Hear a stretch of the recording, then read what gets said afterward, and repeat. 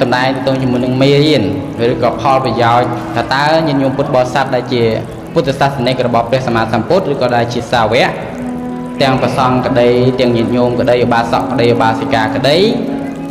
តើអាចទាញយកផលប្រយោជន៍បានអ្វីខ្លះឬក៏អាចរៀនសូត្របានអ្វីខ្លះពីវិធីបុណ្យមគ្គបូជានេះ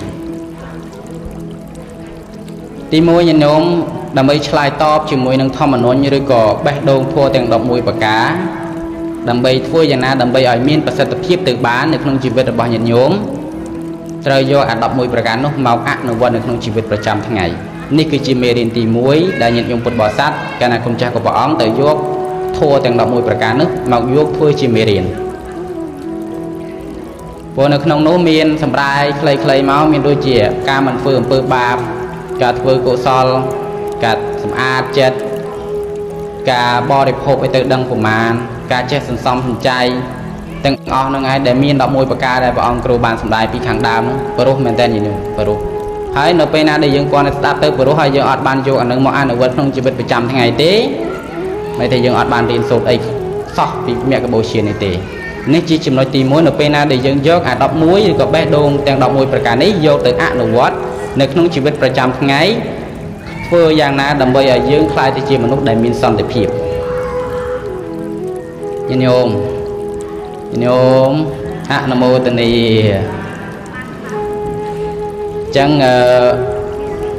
បន្តមកទៀតនេះជាចំណុចទី1ដែលមេរៀនដែលយើងគួរតែសិក្សារៀនសូត្រពីបុណ្យមគ្គបូជាចំណុចទីទី2នៅក្នុងសង្គមនេះញាតិញោមមិនថាប្រសងមិនថាញាតិញោមពុទ្ធបរិស័ទមិនថាអ្នកមានអំណាចអ្នកគ្មានអំណាចតែតែមានគោលបំណងរួមមួយញាតិញោម គោលបំណងរួមនោះគឺដើម្បីធ្វើយ៉ាងណាឲ្យសង្គមប្រទេសជាតិមានសុខសន្តិភាព មានការអភិវឌ្ឍប្រកបទៅដោយចីរភាពប្រកបទៅដោយការអភិវឌ្ឍប្រកបដោយសន្តិភាពចឹងត្រូវមើលថាបើសិនជាមនុស្សយើងមានធัวទាំង11ប្រការហ្នឹងឯងញោម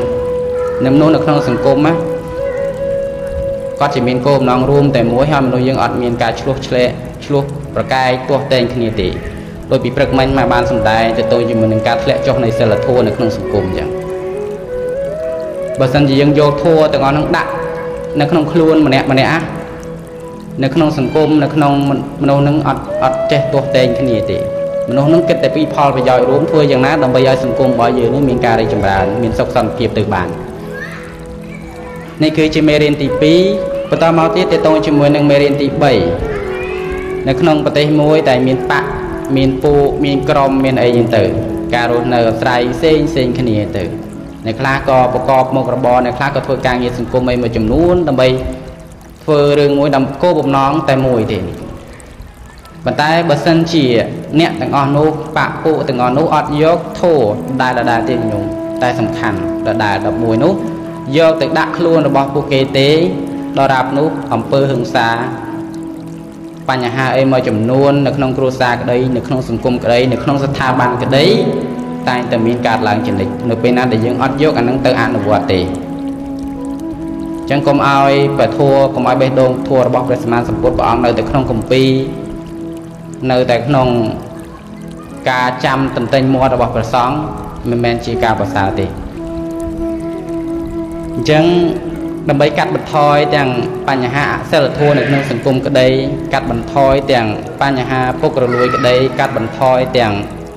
បពុនិយមក្តីដើម្បីសង្គមយើងទាំងអស់គ្នាទៅយកនឹងមកអនុវត្តទៅយកនឹងទាំងអស់គ្នាមេរៀនទី4នៅក្នុងឋានៈយើងរាល់ថ្ងៃនេះញាតិញោមទាំងព្រះសង្ឃក្តីទាំងញាតិញោមពុទ្ធបរិស័ទក្តីបាសកបាសិកាក្តីទីយុតិយិកាក្តីគឺមានទូនាទីមួយក្នុងការផ្សព្វផ្សាយសាសនា ញាតិញោមដែលដឹងថាខ្លួនឯងជាអ្នកផ្សព្វផ្សាយសាសនាញាតិញោមញាតិញោមដែលដឹងថាខ្លួនឯងជាអ្នកផ្សាយសាសនាបងដឹងសាធុនេះគឺជាចំណុចមួយដែលពេលខ្លះយើងអត់ដឹងថាយើងគឺជាយើងមានទូនាទីក្នុងការផ្សព្វផ្សាយពុទ្ធសាសនាផ្សព្វផ្សាយផ្សាយសាសនារបស់យើង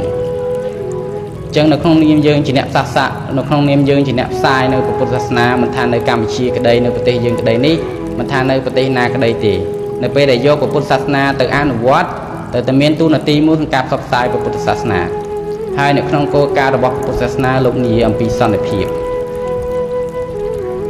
ខ្ញុំស្គាល់សន្តិភាពទេញោម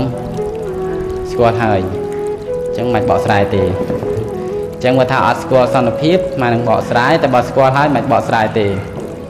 ចឹងគោលការណ៍របស់ព្រះអង្គគឺលោកនិយាយអំពីសន្តិភាពបើយើងអត់យល់អំពីសន្តិភាពផងយើងទៅទៅប្រតិបត្តិមិនទៅដើរតាមមេគារបស់ព្រះពុទ្ធមិន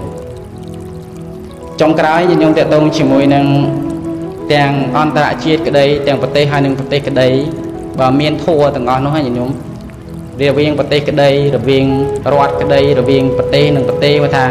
ឧទាហរណ៍ថាប្រទេសកម្ពុជានិងប្រទេសថៃប្រទេសកម្ពុជានិងប្រទេសវៀតណាមបើសិនជាមានធัวទាំងអស់នោះហ่ะអត់មានចំនួនទេ ទាំងអន្តរជាតិទាំងប្រទេសទាំងសកលលោកនឹងគឺសន្តិភាពទាំងអស់តែអ្វីដែលសំខាន់សន្តិភាពទៅចាប់ផ្ដើមពីណាមុនគេសន្តិភាពចាប់ផ្ដើមពីនឹងពុទ្ធបរិស័ទទាំងអស់មុនគេបើក្នុងក្នុងនាមយើងជាមនុស្សមនុស្សជាតិអត់ទាន់មានសន្តិភាពផងចង់ទៅធ្វើប្រទេសមួយនោះឲ្យមានសន្តិភាពវាអាចទៅរួចទេអញ្ចឹងយ៉ាងណាមិញទាំងតំណាក់តំណនៅក្នុងប្រទេសក្រៅប្រទេសអីមួយចំនួនដើម្បីឲ្យពិភពលោកមានសុខសន្តិភាពទៅបានគ្មានសង្គ្រាមគ្មានការឈ្លានពានមានការកេងប្រវ័ញ្ច គ្នាទេពិភពលោកនឹងប្រកបទៅដោយសន្តិភាពគាត់ជាយើងដើរតាមមាគ៌ារបស់ពុទ្ធសាសនាដែលព្រះអង្គបានចំណាយពេលច្រើនឆ្នាំណាស់ញាតិញោមបើបើសាច់ដែលព្រះអង្គសម្ដែងពធនឹងរហូតដល់45ឆ្នាំហើយមុនមុននឹងទៀតដែលព្រះអង្គបានស្វែងរកនៅធម៌ត្រង់តែព្រះអង្គបានរកឃើញនៅអរិយអរិយសច្ចធម៌នឹងមិនងាយទេញញោមព្រោះអញ្ចឹងជារួមមកវិញផលប្រយោជន៍ឬក៏មេរៀនទាំង5ដែលអាត្មាបានលើកឡើងសំខាន់សំខាន់នេះពិតជាមានសារៈសំខាន់នៅពេលណាដែលញាតិញោមពុទ្ធបរិស័ទទាំងអស់ យកមកអនុវត្តនៅក្នុងជីវិតប្រចាំថ្ងៃយកទៅអនុវត្តនៅក្នុងក្រុមគ្រួសារយកទៅអនុវត្តនៅក្នុងស្ថាប័នយកទៅអនុវត្តនៅក្នុងប្រទេសជាតិប្រទេសជាតិទាំងអស់ពិភពលោកទាំងមូលនឹងមានសុខសន្តិភាពដោយសារតែយើងយកមេរៀនពីមគ្គបូជាឬក៏មេរៀននៅក្នុងព្រះពុទ្ធសាសនាទាំងមូលមកអនុវត្តសូមអនុមោទនា